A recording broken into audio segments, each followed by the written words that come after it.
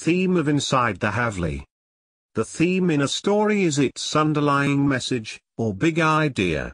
In other words, what critical belief about life is the author trying to convey in the writing of a novel, play, short story or poem? Inside the Haveli depicts the life of a woman trapped in traditions and a desire to free herself from them. Hence, the major themes of the novel are surrender and compromise. The Haveli represents the silence of the women who strictly follow Purdah and other rules of Rajput families. Geeta, the heroine of the novel is an educated girl born and brought in modern Bombay. She marries Ajay, a lecturer at Udaipur University. Ajay belongs to a traditional Rajput family of the state living in ancient Haveli with 300 years of its past glory. Geeta is not happy with the life inside the Haveli. She finds herself trapped in the traditional value system. The women in the Haveli are passive sufferers. They live life as per the traditional rules and taboos of the Haveli. Geeta, who is brought up at Bombay in an atmosphere where men and women can mingle freely, cannot bear the orthodox system and values of the Haveli.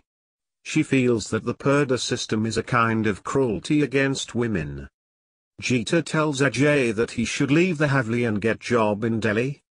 When Ajay is appointed as the head of the department at Udaipur University, he tells Geeta that he cannot leave Udaipur and he has to take care of his parents also.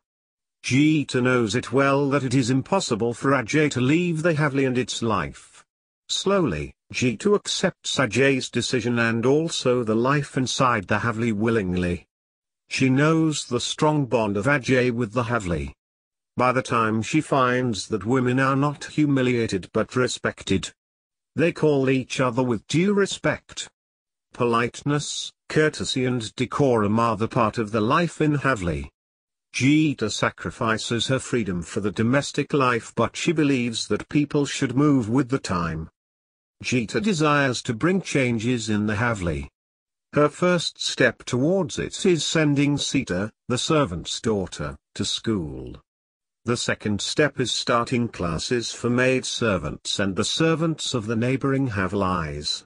There is protest and criticism but she succeeds as the maid servants and other women come to her classes for learning. No one in the Haveli had thought of educating servants' children. Servants and relatives oppose Geeta's decision but her father-in-law supports her.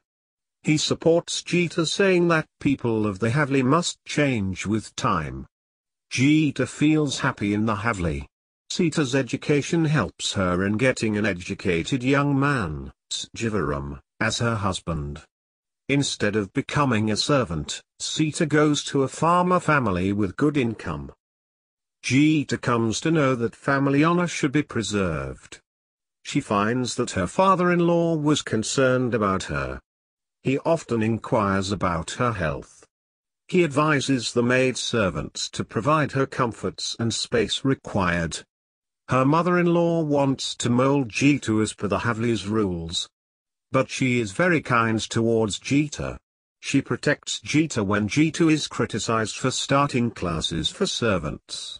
Geeta notices the kind behavior of her in-laws and she becomes interested in Haveli's culture and reputation. She wishes to protect Haveli's dignity. Geeta does not accept Vijay Baisa's engagement with Vasing. She believes it wrong to marry her daughter at an early age. She protests very boldly saying that she would not give permission for a child marriage. Geeta's father-in-law convinces Geeta of the proposal of Vasing. He tells her to think of the girl's marriage at the proper time. He tells her that Vijay can continue her studies after her engagement to Vasing. Geeta understands that Vasing is quite handsome and educated. He comes from a rich family and is going to London for further studies. At the end of the novel Geeta accepts the proposal.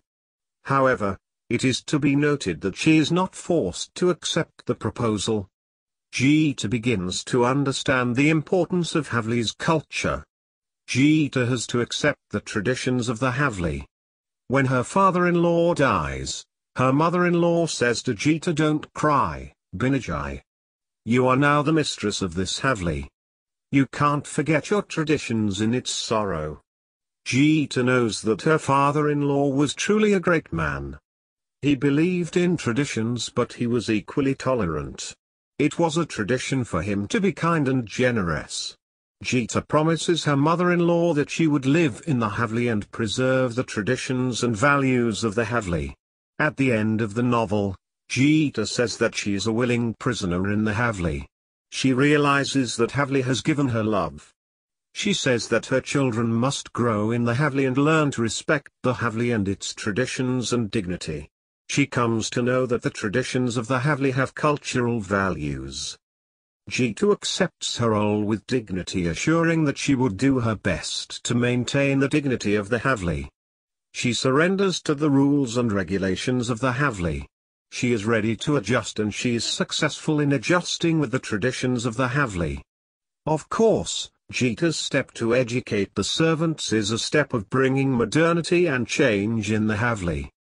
It suggests that the new ideas will prevail in the Haveli without harming the honor and reputation of the Haveli. Geeta succeeds in breaking the silence of the Haveli by transforming the orthodox customs of the Haveli. She surrenders herself to the love of the in-laws and her husband. She compromises to bring constructive and sophisticated changes in the Haveli.